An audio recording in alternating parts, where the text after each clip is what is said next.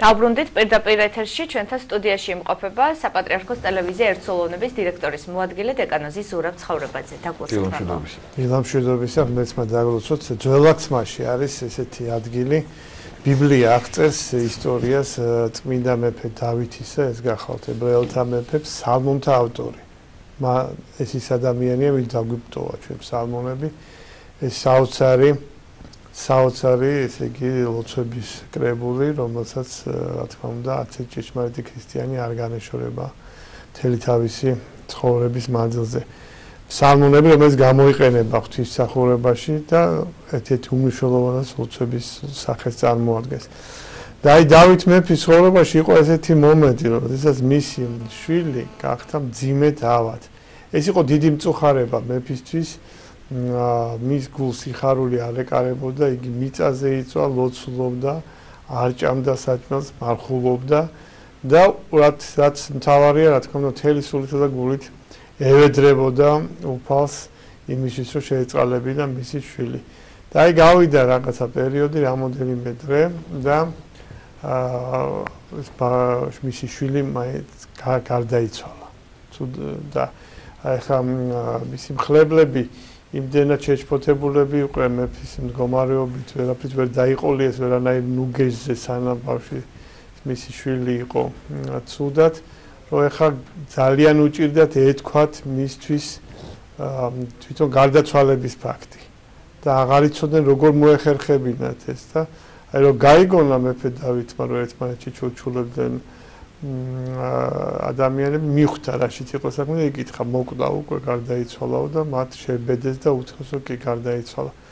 ამის შემდეგ თითქოს დავით მეფის აქციელი არის არალოგიკური. იგი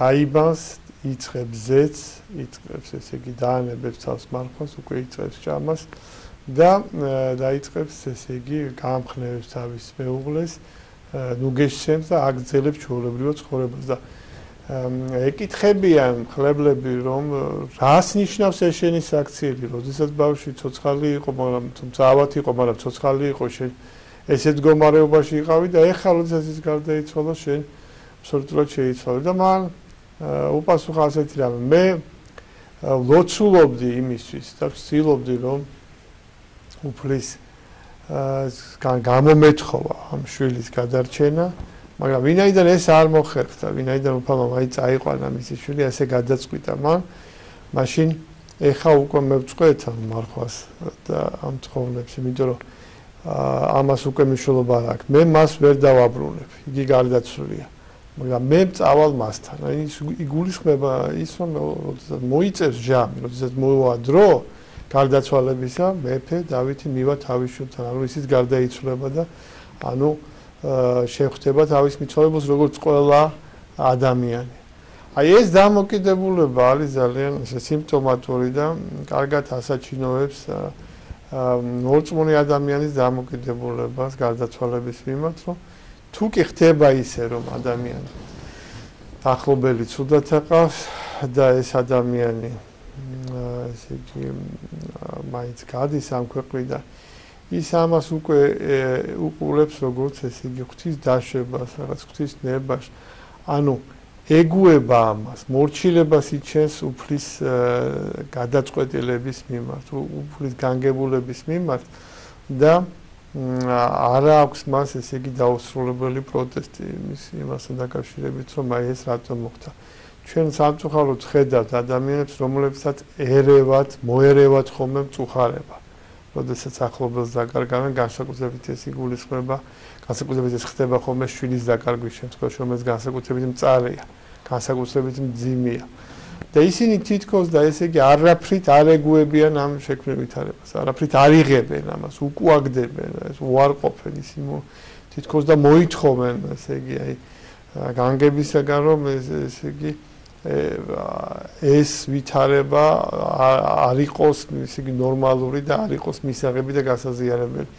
რა თქმა უნდა, ეს კიდევ ერთხელ უდიდესი გაჭირვება, უდიდესი გასაჭირია და დიდი განსაცდელია, მაგრამ რახან მოხდა, რახან დაეშვა უფლისაგან, ისე იგი ჩვენ უნდა რაღაცნაირად მორჩილება გამოუცხადოთ უფალს. უნდა მივედოთ მას, დობა გამოვიჩინოთ მის მიმართ, რომ რადგანაც ეს დაუშვა უფალმა, ესე იგი რაღაცისთვის დაუშვა. ჩვენთვის ეს არის დაფარული. ჩვენ შეიძლება ბევრი მოსაზრებები გამოვთქვათ, ბევრი ვარაუდები გამოვთქვათ, მაგრამ აა ჩვენ ამ ყველაფერს მაინც გავიგებთ იმ ქვეყნად, თუ რატომ მოხდა ადამიანის ცხოვრებაში აი ასეთი რა ასეთი აა ასე თქვა ჩარევა. და წმინდა იოანე ოქროპირი ამბობს ესეთ რამეს, რომ თუკიო ესე იგი ადამიანი გარდაიცვალო ჩვენო ასე უნდა მიუდგეთო ამას, რომ თუ კი ის გარდაიცვალა მოხუცი მოხუცი მაშინ უნდა ვიფიქროთ რომ მან ამ ცხოვრებისგან ყველაფერი აიღო ესე იგი ყველაფრის აღების მიღების საშუალება მისცა უფალმა და ისე გაიყვან.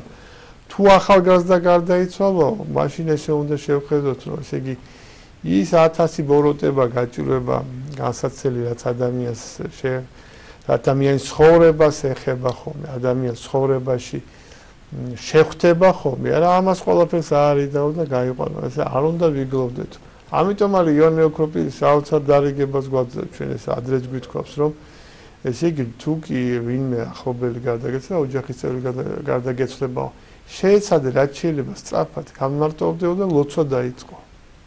ლოცვა დაიწყო და არა ახლა ესეთი უზომო ტირილი. თუმცა ეს რა თქმა უნდა ძნელია. ეს მოითხოვს გარკვეულ სულიერ ძალებს, მაგრამ ეს სულიერი ძალები არის აუცილებლად მოსაძიებელი.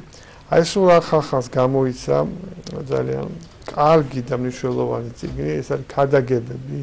წმინდა ჩვენ დიდი წმინდანისა, წმინდა დელმოწამისა, ანთიმოზივერიელისა, ანთიმოზივერიელისა, რომელსაც უზარმაზარი ღვაწლი აქვს რუმინის მასპინძელი ეკლესიის წინაშე. და შეიძლება ითქვას რომ ეს რაღაც დაბრუნება ჩვენ ანტიმოზირეისა რომელიც ავი დროზე რაღაც ესე გატაცებული იყო სამშობლოდან თურქების მიერ მუსლიმების მიერ და ეს გადაგებები მას წარმოთქმული აქვს რუმინულ ენაზე ის რა პოლიგლოტი იყო რამოდენიმე ენაზე საუბრობდა და კითხულობდა. წლად არის გამოცხადებული წელი დიახ წელს მისი წელი წლად არის გამოცხადებული. აი ჩვენ საშუალება მოგვეცა რომ გავცნობოდით აი ამ ქადაგებებზე. სწორედ აი მას აქვს ის ორი ქადაგება რაც ამ გარდაცვალებას ეხება და იგი იხსენებს ერთ ადგილს ახალებიდან. ეს გახლავთ როდესაც იარიოსის ქალიშვილი ნახა იესომ და მან წარმოთქვა სიტყვები. ნუსტით რამით უყმა იგი არა მომკრალს არამედ ძინავს. და აი ამ სიტყვებს იყენებს იგი ერთ-ერთ ერთ-ერთი კადაგებების დროს კადაგების დროს რომელსაც იგი წარმოთქვავს ერთ მიცვალებულ ადამიანთან დაკავშირებით როგორც ჩანს ახალგაზრდა ქალიშვილი გარდაიცვალა რა თქმა უნდა დიდი მწუხარება იყო ეს ოჯახისთვის ახლობლისთვის და აი წმინდა ანთიმოზი ცდილობს რომ ნუგეში მიანიჭოს მას და აი ამ სიტყვებს იხსენებს ესე იგი მას ძინავს ამ გადაცვლაზე ამბობს. რატო? იმიტომ რომ სხვაგან სხვა ადგილას ესე იგი მამები ამბობენ რომ ესე იგი მართალი ადამიანის სიკვდილი არის დაძინება, არა სიკვდილი, არამედ მიძინება. აი როგორი დამოკიდებულება არის, იმიტომ რომ სატირალიო ეს კი არ არისო, ეს ქალიშვილი და ამბობს, რომელიც იყო უპატიოსნესი, მორწმუნე, მაზიარებელი, მლოცველი, სათნოებებით შემკული. და ესე გაიყვანო ხოლმე. სატირალი არიანო წარმართებიო რომლებმაც ქრისტე არიციან სატირალი არიან ერეტიკოსები სატირალი არიან სხვა სარწმუნოების მიმდევრები რომლებმაც არიციან ქრისტე და აი ის სიკვდილი მათთვის არის მართლაც სიკვდილი. აი ასეთი შედარება მოგწმინდა ანტიმოზივერიოს ასე რომ მათაც რომ დამოკიდებულება გარდაცვალების გარდაცვალებასთან დაკავშირებით არა ჭეშმარიტ საწმუნო საწმუნოების წიაღში მაცაც განსხვავებული იყო და აქვე თვითონ ანთიმოზიველს მოაქვს ციტატა ეკლესიასთან უკეთესია სიკვდილის დღე გაჩენის დღეზე რადგან დაბადება არის ტკივილის ხოლო სიკვდილი ნეტარი ცხოვრების დასაწყისის დასაწყისი ციტატა დასულა ეს წარმოიდგინეთ ეკლესიასთან რას გვეუბნება რომ უკეთესია სიკვდილის დღე გაჩენის დღეზე რადგან დაბადება არის ტკივილის, ხოლო სიკვდილი ნეტარი ცხოვრების დასაწყისი დასაწყისი. ციტატა დასრულდა. ანუ აი ესეთი სიბძნე რაც არის ჩაღრული ეკლესიას და ის გვეუბნება ჩვენ რომ ეს იქ სიკვდილის დღე უფრო უკეთესია იმიტომ რომ მარადიული სიცოცხლის დაწყების დღე არის და როიბადება ადამიანი მას წინ კიდე რა რა ელის ცხოვრებაში ამდენი სიმწარე განსაცდელი შრომა ვაწრი გაჭირება თუმცა გააჩნია ალბათ როგორ იცხოვრებს ადამიანი ამიტომ როგორ იცხოვრებს კი მაგრამ უმეტესად ხო ადამიანებს ის ცხოვრება განსაცდელების და გაჭირვებების გარეშე არ არის და თუ ეხა ვინმე ცხოვრობს არხეინად და არაფერს ესე იგი არაფერზე არ დაძობს, არაფერი არ აწუხებს და სულ ეძებს იულ იულ ცხოვრებას, არა? შესაბამისად მათი ეხა გარდაცვალებაც უკვე სხვანაირია. უკვე უკვე მათი გარდაცვალებაც სხვანაირი გახლავს.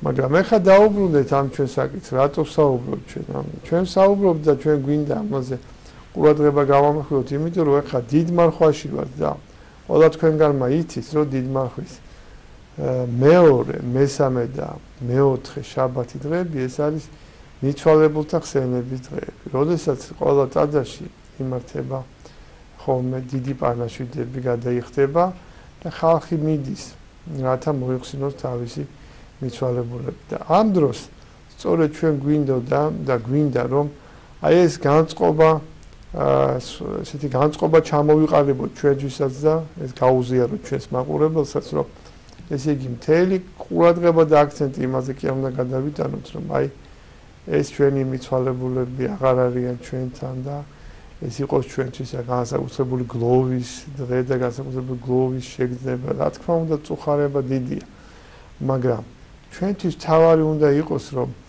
აი ეს მიცვალებულთა ხსენების დღეები და ეს დიდი პანაშვიდები. ეს არის ჩვენთვის ფაქტიურად ჩვენს გარდაცვლილებთან შეხვედრის დღეებიც. იმიტომ რომ ლოცვა და მით უფრო ეკლესიური ლოცვა არა? ეს არის სწორედ რომ ურთიერთობა ჩვენს გარდაცვლილებთან ჩვენს მithვალებულებთან ურთიერთობა და ძალიან დიდი სარგებლის მომტანი თვითონ იმ ადამიანებისთვის ვინც გარდაცვლილია. და არა მარტო მათთვის არამედ მათთვისაც ვინც ლოცულობს. აი ექიმი, როდესაც რაღაცას კურნალობს ადამიანს და რაღაც წამალს მალამოს ჭრილობაზე ადებს მას, ესე მამებს ესე შედარება მოგე, თვითონაც ხო ეხებაო მის ხეულს ეს მალამო.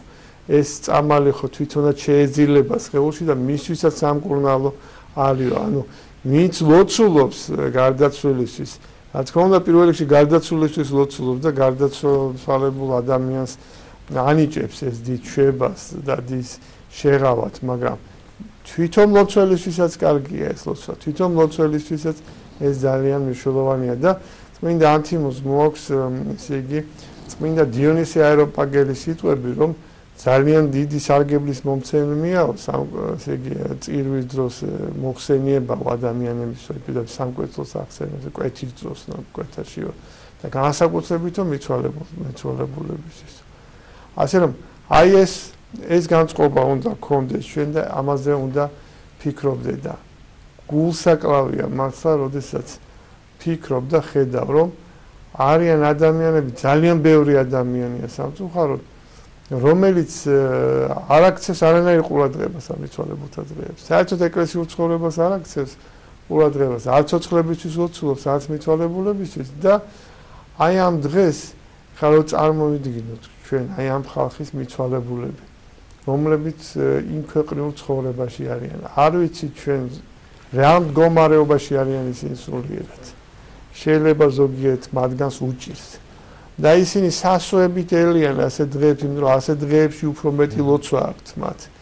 ასე დღეებში ისინიც კი რომელიც შეიძლება წლის მანძილზე არ მიდიოდეს ეკლესიაში ჩვეულებრივ რიგი წირვაზე არ აგზავნიდნენ მოსახსენებელს მიცვალებულისთვის ამ დღეს მაინც მიდის ხოლმე. საკურთხემია. აი რაღაცა საკურთხის მომენტით მათთვის რაღაცა უფრო ხელშესახებია, თითქოს რაღაც მატერიალური რო არის, რაღაცა საზდელი რო არის, თითქოს უფრო იაზრებენ ამას. აი რაღაცა ესეთი ცოტა ისეთია, ვისაც ხაი ეს ლოცვის ზალა იმდენად არის მით და თქვათ კვეთაში მოხსენიების მნიშვნელობა იმდენად არ არის ლიტურგიის დროს მოხსენება, რაღაც საკურთხი მათთვის უფრო ადვილად გასაგები არის თითქოს. და თუნდაც მარტო ამის გამო ნიდიან. და აა ბევრი მიცვალებულისთვის ეს არის შეღავათი შვება, იმიტომ რომ თელი წის მანძილზე შეიძლება ერთი ორჯერ მხოლოდ აი ამ ეგრეთ წოდებული საკურთხობის დროს მოიხსენიონ ისინი, იმიტომ რომ პანაშვიდი იმართება, თავარი პანაშვიდია და საკურთხის მიდან, საკურთხი ეს არის მოწყალების სახე. ეს არის მოწყალების სახე. და თქვენ წარმოიდგინეთ ახლა, როდესაც ესეც კი არ ხდება, როდესაც აი ამ მცირე დღეების დროსაც კი აი ამ მიცვალებულთა საზოგადო მოხსენიების დღეებს რო უწოდებენ, ამ დროსაც ესე იგი ადამიანები ივიწყებენ თავის მიცვალებულებს, რა სევდა და წუხილი აქვს ამ მიცვალებულებს. იმიტომ რომ ისინი გძნობენ აქედან როცა ლოცვა ხდება.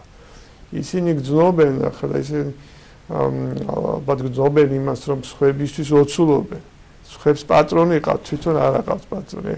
დაახლოებით რო წარმოედგინოთ ეს სამათყოფოში რო არის ადამიანი ციხეში და ვიღაცებს ააკითხავენ ყურადღებას აქცევენ მოაქვთ მათთვის საჭმელი სასმელი ან ისე მოიკითხავენ ნუგეშცემენ ექიმს დაელაპარაკებიან ექიმთან რაღაც ექიმს თხოვენ რომ უფრო მეტი ყურადღება მიაქციოს მათ ამანტყობს ან ციხეში მიდიან ნახულობენ იქაცე მოიკითხავენ ადამიანს და ვიღაცებს არავინ არ მოიკითხავს. ამ ძიმია რა თქმა უნდა ამ ამანტყობის და პატრონის გომორებად ვისაც არ აკავს პატრონი. და ეხლა თქვენ წარმოიდგინეთ თუ ამ ქვეყნიურ ცხოვრებაში თუ კი ამ ქვეყნიურ ცხოვრებაში სამანტყობუშე ციხეში სადაც ნუგეს მაინც პოულობს ის მეტრო სხვა ადამიანი შეიძლება სულად უცნობი ადამიანმა ნუგეში შეიძლება იქ მყოფმა ავანტყოფმა რაღაცა უწილადოს მანუთხა სანუგეშო სიტყვა ან პატიმარმა მეორე პატიმას ნუგეშიც ეს რაც ხდება ხოლმე კიდევაც. პირიქი თავის ახლობებს თხოვოს მე რა პატიმარმა ამასაც ყურადღება მიაქციეთ რაც ყოფილა ასეთი შემთხვევები ჩემთვისაც უთხოვრიათ რომ იქნებ ისიც ნახო არავინ არ აყავს უპატრონოა თქვა ჩვენ ნაცნობებს რომელიც მოგვინახულებია ციხეში გვინე მე მასაც შევხედრივართ იმ ადამიანებს არა?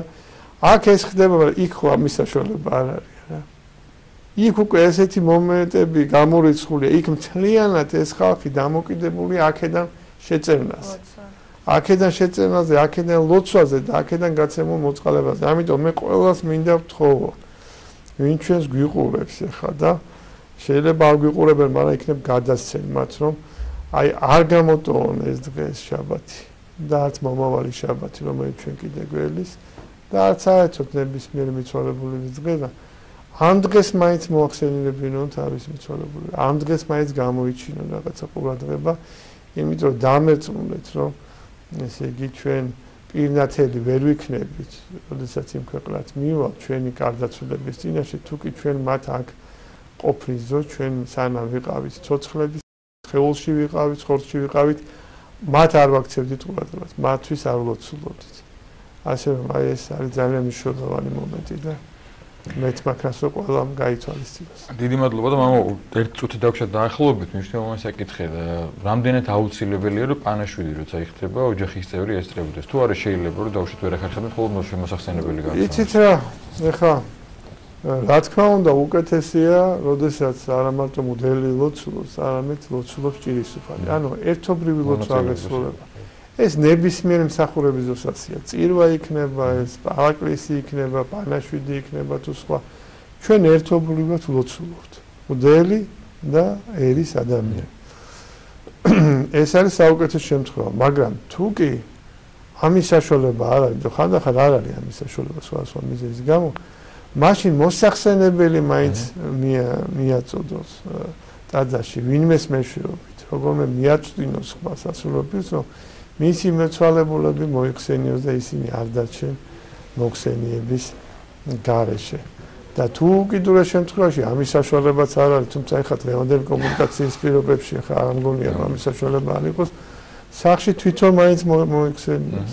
თვითონ მაგრამ სულ სხვა ეკლესიის ლოცვა, სულ სხვა ეკლესიის ლოცვა, იმის ძალას რა თქმა უნდა ვერ შეიძლება. და მამა ბოლოს კიდევ ერთი ნახევარწლამდე გრჩება და საკურთხთან დაკავშირებით მინდა გკითხოთ, რადგანაც მე თვითონაც შევსწრები ვარ დიალოგს მრევლს შორის, როდესაც საკურთხი მიაქვთ ტაძარში, როგორც თქვენ აღნიშნეთ, მისი დანიშნულება არის მოწყალების სახით გაღება, მაგრამ ხშირად არის რომ გაუთვიცნობიერებლად მიაქვთ და აკურთხებს თქვათ სასულიერო პირი და მე ისე უკან მიაქვთ სახლში. აი ეს რამდენად სწორია? აი საკუთზე მადლობა რომ გამახსენეთ მინდოდა მე თქვა გადამავეცდა პირველ რიგში ეს დამოკიდებულებაც უნდა ჯანსაღი კონდეს ამ საკუთზე აი ხშირად ჩვენ ვაკვირდებით და ხედავთ ასეთ რამეს რომ ესე იგი როდესაც ემზადებიან ამ მიცვალებულთა საზოგადო ხსენების დღეებისათვის ესე იგი არის მთელი ყურადღება გადადის ამ საკუთზე ხანდახან და ადამიანები ახლა ქალბატონები განსაკუთრებით ვერასწრებენ ხშირად ამ უნდათ რაღაც მეტი იყოს ამ საკუთში საკვები პროდუქტი რაღაც საჭმელები რომელიც უყარდა მიცვალებულს და ისიც უნდა დაამატო. მე ვერასწრებენ ხშირად იგვიანებენ მე ამის გამოპანაში ესე თავარი რჩება გვერდზე. ესე იგი იმის მაგივრად რომ ეს განწყობით მივიდეს ახლა მივალ ვილოცებ მთელი ყურადღება გადადის იმაზე, რომ აი მე მგონი არაფერი არ დავაკელი ახლა ამ საკულს, რაც მინდოდა ყველაფერი გავაკეთე და იქაც რომ აი რომ შემოდიან იმ წუთში ხვდები ადამიანს, ახლა ეს ეკლესიური მოწმუნე არის თუ ესე ამ დღეს მოსული, იმიტომ რომ აი მოაგდა მთელი ყურადღება გადადის ამ საკურთხის დაბინავებაზე, რომ რაღაცა კარგი წყალებში კარგი ადგილას იყოს იქ, რომ ვაი თუ მე წვეთი წყალი ამას არ მოხდეს ნაკურთხი წყლის წყალი და ვაი ესე იგი არ ეკურთხა საკურთხი და ჩვენ აღარ აღარ ჩაეთვალა, მას აღარ მიუდა მე რა თქმა უნდა გასწორია. იქ როდესაც იკურთხება ეს იქ უშუალოდ წვეთი შეეხება რაღაცას თუ არ შეეხება ის კურთხება ხდება ახლა ლოცვა ის ნაკურთხია რა თქმა უნდა. და რაც შეეხება ახლა მეორე ნაწილს ეს უკვე მაგასთან დაკავშირებით ასეთი რამ შეიძლება ვთქვათ რომ აქ ადამიანი არის თავისუფალი. თავისუფალია ეს მორწმუნე მრევლი და ხანდახან არამრევლიც მოდის ხოლმე და რადგან ეს მისია ეს საკურთხი როგორც უნდა მას ისე უნდა მოიქცეს. თუ უნდა მან ეს საკურთხი უკვე რომელიც იკურთხება დაურიგოს გლახაკებს ღარიბებს მათხოვრებს რომლებიც მრავლად არიან სამწუხაროდ მომდელ საქართველოში და ამ ტაძრებთან ამ დღეებში ძალიან ბევრი გროვდება ხოლმე თუნდა ეს დაუტოვოს სასულიეროთვის, თუნდა ეს წაიყოს და ვისაც უნდა იმას მე ეკლესია არ თხოვს რომ აუცილებლად დატოვოს. თუნდა სახში წაიყოს. ეს მისი არის და ეს მისი გადასაწყვეტია. აქ არავითარ შემთხვევაში არც ერთი არ არის ჩვენ ვერ ვერ ვეტყვი ჩვენ რომ აი ასე მოიქეცი ან ასე ნუ მოიქცე. ეს არის მისი პირადი შეგნების, მისი განწყობის და მისი სურვილის ესე იგი გადასურვილის მიხედვით უნდა გადაწყვეტს და დანარჩენი ახლა არავინ არ უფალი არ დატოვებს თავის ერთგულ სახურს და შეეწევა ამ თუ იმ ფორმით და ახლა მე გამგები გაიგებს ალბათ იგივე სასულიერო პირების გაიგებენ რას რას ვამბობ. დიდი მადლობა მამაზურებს შეგახსენებ დეკანოზის ზურაბ ცხოვრებაზე გვესაუბრებოდ.